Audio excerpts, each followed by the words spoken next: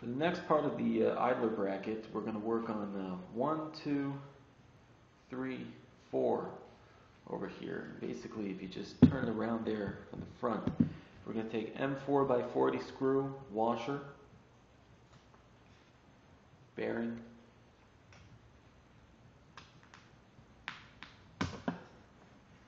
washer,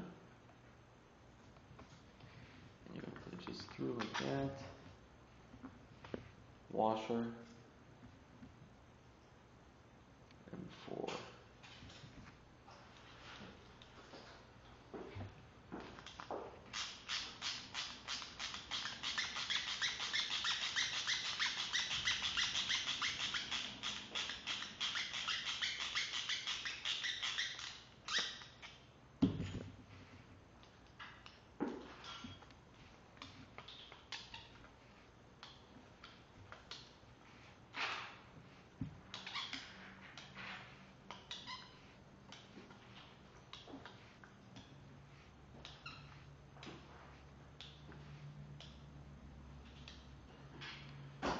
Alright, so we have one done.